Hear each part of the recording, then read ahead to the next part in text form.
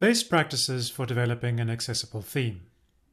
If you watched the lesson What is Accessibility and Why It's Important, you know that digital accessibility is a broad term that means ensuring that as many people as possible can use the web. There are legal and business implications, but more importantly, accessibility guidelines guarantee a better browsing experience for everyone. The easiest way to deliver accessible themes, plugins, or sites is to think about it from the outset. Include it in the planning phase and educate coworkers and clients. That way you won't only spot the errors early on, you'll actually prevent many. In this lesson you'll learn about the fundamentals of accessible HTML and how to apply them to your WordPress themes. HTML is as powerful as it is accessible. Try it yourself. Open your code editor and create a valid HTML page, marked properly with landmarks, headings, text, buttons, links, forms, etc. Now, Run the code through an online accessibility checker, like Web Accessibility Checker, and notice how it detects zero accessibility issues. The problems typically come later as you add styles, scripts, or media assets. As a developer of modern WordPress themes, these are exactly the technologies you'll work with. React-based blocks, PHP patterns, and CSS compiled from theme.json. The key is to be mindful of accessibility while you design and code. Use semantic HTML.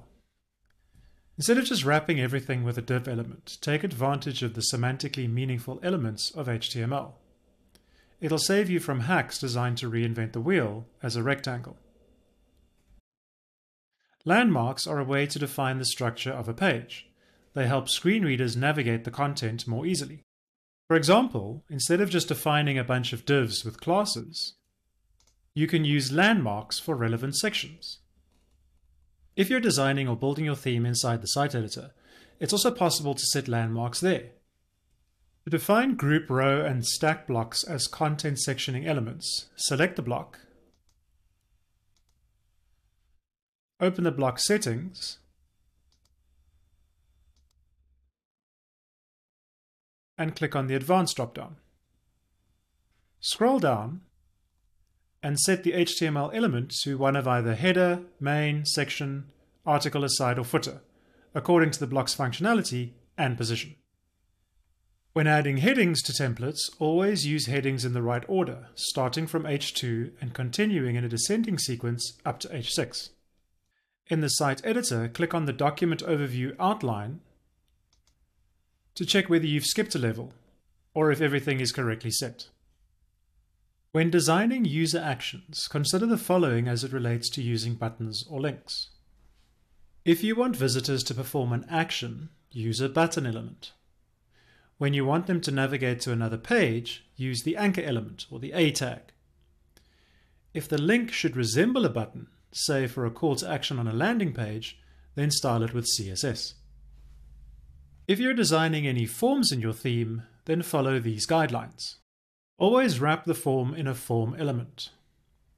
On input fields, always set the appropriate type and matching attributes. For example, defining an input type of tel will display a numeric keypad on mobile devices. Don't rely on placeholder text to indicate to the user what the input field is for. Always provide accessible labels. Use the search element for any search forms.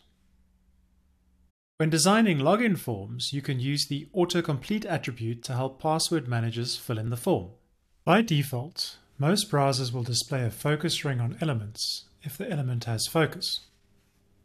If you want to change the display of these focus rings, use the focus visible pseudo class and don't remove focus rings entirely. Be sure to create an accessible color palette with sufficient contrast. When editing templates, WordPress alerts you when the text and background color combination you set fails to do that.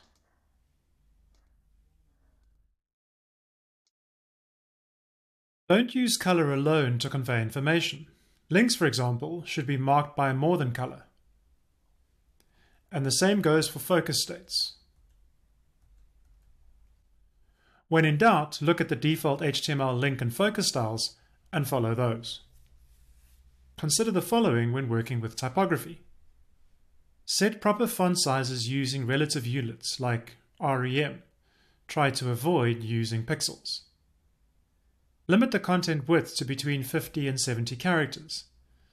The character unit, or CH, is perfect for that. And finally, make sure to use adequate line spacing for text based on the font size. Respect user preferences. Media queries help create a better user experience. Some media query types, like prefers color scheme or prefers reduced motion, are explicitly accessibility driven. But there's also pointer, hover, or scripting that adjust components' behavior to the user's device. The ARIA workaround. ARIA is short for Accessible Rich Internet Applications Framework and it's often cited as a quick way to make HTML content more accessible to screen readers. However, the most important rule of ARIA is that you should only use it when you absolutely need to. Ideally, you should always use the HTML features to provide the semantics required by screen readers to tell users what's going on. Misused ARIA attributes make things less accessible, so avoid them unless you don't have control over the HTML or you need to handle dynamically generated content. For more information on this, make sure to visit MDN's ARIA Basics section. Accessibility is forever a work in progress. Even one small improvement can make a big difference to your site visitors, and it has zero negative effects. It will never make their experience worse. To learn more, visit the W3C Web Accessibility Initiative's WAI tutorials at w3.org slash WAI slash tutorials.